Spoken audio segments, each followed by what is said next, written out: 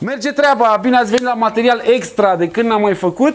Uh, Este un material extra cu câștigătorul de la giveaway-ul făcut de Osram România, împreună cu colegii de la Aspad, care le și montează și le și vând. Uh, Avem câștigătorul farurilor, o să vi-l prezentăm, o să vă prezentăm și mașina, dar până atunci aș vrea să vă povestesc despre aceste lămpi de lucru. Acest roboțel arată super.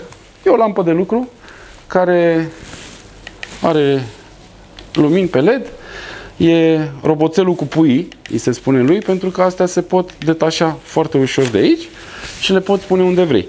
Oamenii îi spun lampă de lucru, noi îi spunem lampă de overlanding sau de off-road sau de camping, cum vreți voi și mai avem și această lampă de lucru care, la fel, și ea, noi o vedem ca lampă de overlanding sau de off-road. La fel, se poate scoate de aici, se poate agăța în copaci, are și un cărlic pe aici pe undeva, da? Deci puteți să vă faceți o tabără luminată alături de cei de la Osram. Hai să vedem mașina.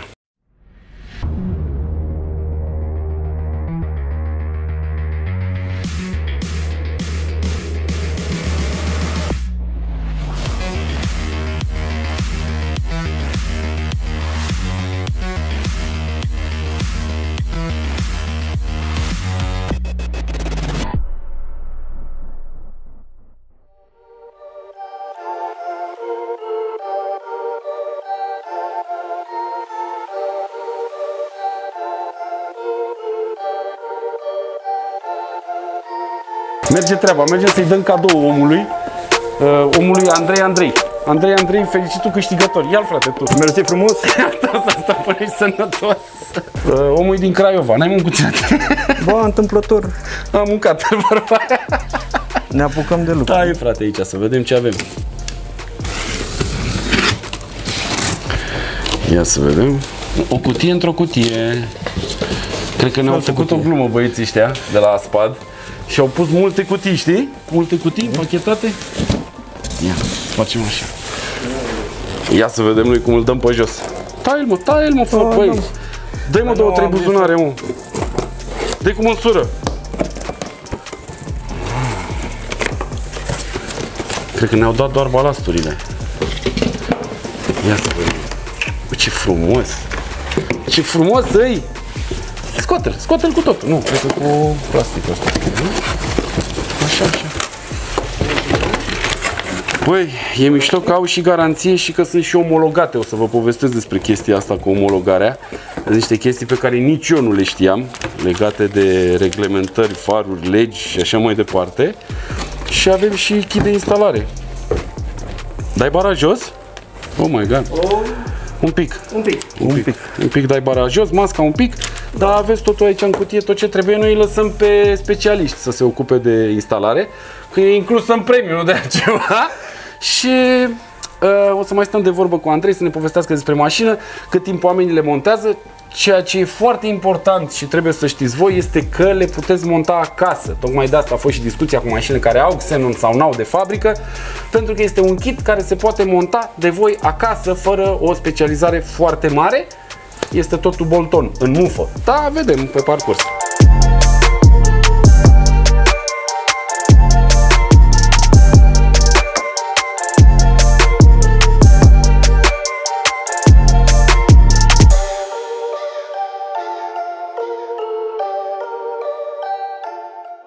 Vorbim cu Andrei Andrei. Îmi place eu, e tare rău să zic Andrei Andrei despre mașină. Băi, m-am uitat când a deschis capota și am văzut că e 1.4 TSI și am zis, moamă, moamă, pentru că am avut și eu pe Golf 5.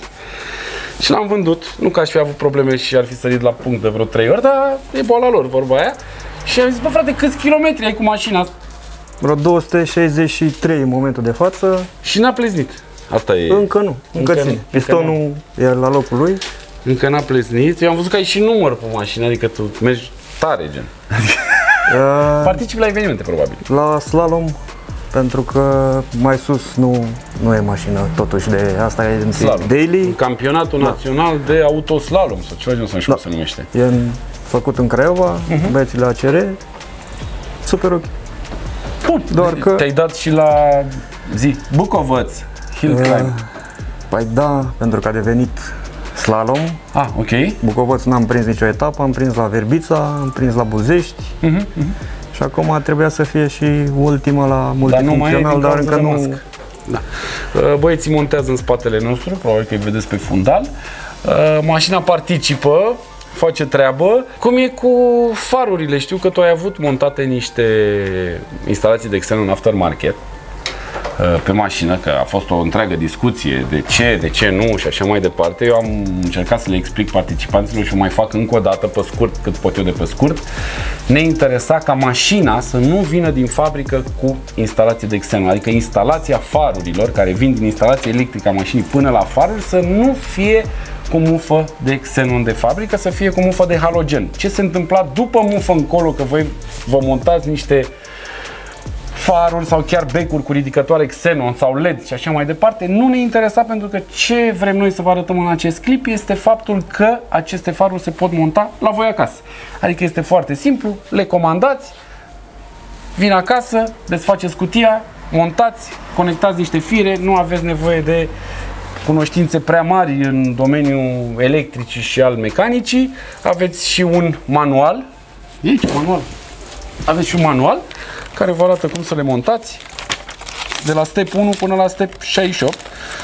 Dacă sunteți un pic tehnici, există posibilitatea să vă găsească oamenii prin bări, prinși sau prin roți.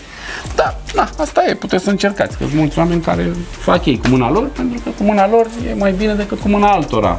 Ce modificări ai făcut bolidului, în afară de filtrul sport pe care îl văd acolo? Roți, suspensie, probabil. Uh, Pe partea de sub capotă nu e mare lucru, e doar admisie, evacuare, soft, iar pe partea de stabilitate, suspensie ca tot omul. Suspensie ca tot omul cinstit, vorba aia, vrei să te dai și tu, pui o suspensie cinstită, niște roți mai mari, cu niște gume cu profil mai mic, un so- stage 1, e corectă mașina pentru a o putea și folosi de zi de zi, probabil. Nu știu, e, E singura zi de mașină. Zi, merge 250.000 de kilometri. 150 de kilometri zilnic, Ia uzi. aproape în fiecare zi. Bun. A- Aproximativ. Uh, ce să încă zic? merge. Uite farul, uite halogenul, e o mică, mare diferență din punctul meu de vedere, o să le și aprindem, le vedem pe video, pe lângă faptul că mulți dintre noi apelăm la ele pentru design, că au uh, daylight-uri, că au lupe, că cu negru, că cu verde, că cu nu știu ce, sunt un element de siguranță foarte important în ceea ce privește circulația pe drumurile publice noaptea, iar eu când eram tânăr și lucram la Porsche și le spuneam oamenilor, uitați, aveți opțiuni, tăgădăm, tăgădăm, tăgădăm și ajungeam la Big Xenon și spuneam, doamne, Big Xenon, știți, aveți Xenon pe fază scurtă, fază lungă, cum au și astea, aveți nu știu ce, aveți nu știu cum, cu uh, cornering, cu lumini ambientale, cu tot ce trebuie, zic, vă salvează viața noaptea, face diferența între a vedea sau a nu vedea o căruță, la la la la, la cât costă? 1300 de euro. Eu nu merg noaptea. Eu nu merg noaptea, înțelegi? Deci oamenii nu mai mergeau noaptea. Dar, uh, na, așa e și cu anvelopele de iarnă și așa mai departe. Să-i lăsăm băieți la treabă că eu... Să-i lăsăm pe băieți la treabă că eu vorbesc foarte mult și nu mă mai opresc niciodată că...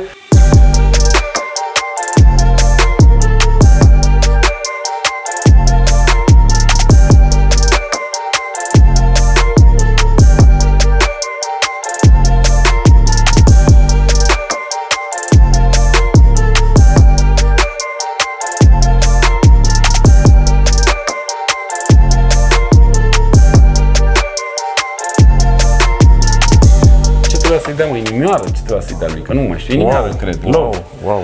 Cum ai făcut? Wow, trebuia să-ți dea Wow, ție? da. Cum? Cum ai făcut? Bă, sincer, nici eu nu știu. Dar s-au pus băieții toți. Deci la un moment dat uh, le scriam pe Facebook. Orice mesaj se trimitea. Când trimiteam un link, zero. Bloc. și îți dai seama câte mesaje s-au trimis. Și fiecare la rândul lui dând mai departe. Dar băiatul ăla cu golful roșu din ce oraș era oare? Uh, nu știu, nu știu. A fost bătaie între orașe, adică asta a fost. Știu, Acolo, dar la ei like-uri. fiind un oraș mai mic, S-au avut ce să facă. Băi, aveți mare grijă când intrați în concursuri vedeți în ce oraș vă aflați, cum stați, care cât, care Și e împrejurimile, populația da. și dați drumul la treabă. Altfel nu vă mai băgați că oamenii chiar sunt serioși în ceea ce privește concursurile de la Stax. Și uite, omul și-a obținut farurile foarte frumoase, omologate, v-am mai spus, fără nicio problemă. E și o explicație cu culoarea xenonului până, nu știu, 6000 de K sau ceva de genul ăsta este omologat fără spălător de far.